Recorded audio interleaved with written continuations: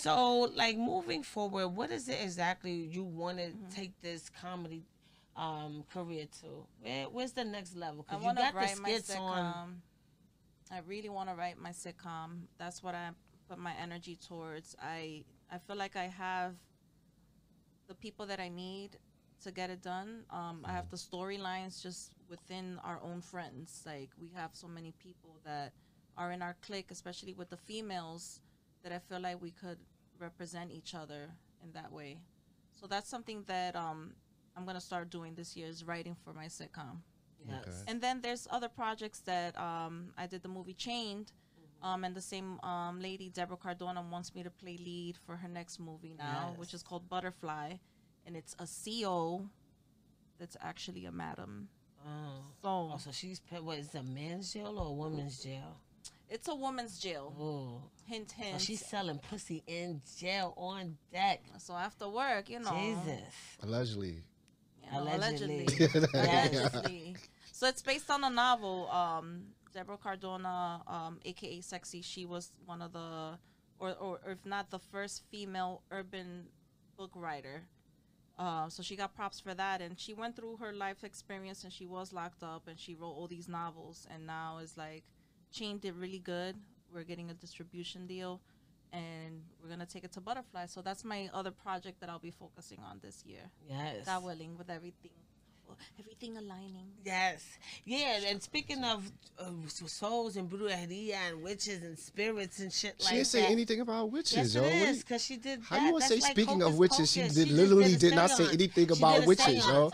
Seance. That's I know what that means. That's like putting the energy, the vibrations. You Oh, conjure man. shit up. That's what that Go is, right? go go on to your spell, but she didn't say that. You. Yes, she you didn't did. Do a seance. She didn't do. in there. It was, was real Go faint. go on. So, yes. So I seen a post that you put on Mm-hmm. Instagram, and you was bring conjuring up the spirits Yeah. to heal Australia. Every uh, everybody should be praying for Australia because they under fire right now. Yeah. You know. So, what are your thoughts on that?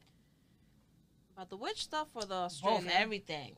Um, How Well- how both of them course correlate to each well, other? it's because she's referring to a post that I posted. it was alright, like, you know, it said like, attention for to all the witches, please say this, and it was just basically a prayer or a spell. You know, like words. Words are spells. Trying to conjure we a all brain. we all uh, have that ability to to say certain things and it becomes something bigger. So That's why they always talk about speak Yeah. stuff into existence. Yeah. You got to talk about it. I'm That's hip. just I'm Mm-hmm. hip. It's just how you segue into it. You said she did. She did not say that, but I'm, Yeah, she I'm, did. She did that. I'm hip. I'm not She against it. I'm not disputing She it. I, I agree 100 percent. Words and like, spells God and everything. I willing. understand she that you was speaking. sprinkling it with a I- little I agree with you. Jesus. That's what she was doing. Yeah, I think the more people focus, the more energy focuses on something, the more it can become that. So of course we want to pray for the world and, and pray for water for Australia. It's the same thing that the natives did, the the Indians, like native Indians when they were going through their thing and you know,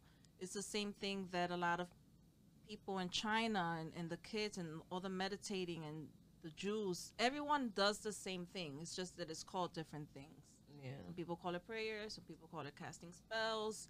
But what is proven is if an amount of people, collective amount of people, are focused on something, that energy is gonna go towards that. Yeah, it's gonna manifest. Yeah, it's gonna manifest. Yeah, and I, I really do agree with that so much because, and then you have to have a good spirit to do it. It's not gonna work Yeah. if you're not with Yeah. it. It has to be aligned. Well, so there's dark and light forces. I always say that there's nothing, there's no wrong or right. It's it's the moment and and the consequences of what you decide to do. So you got to live with what you do and what you put out there. So people, yeah, pe- people see me burning sage and they see me with my stones and sometimes how I speak and they're like, "Oh, you're a witch." I used to get like offended, but now I'm like, oh, "Yeah, I guess so. Mm-hmm. I guess that's what I am."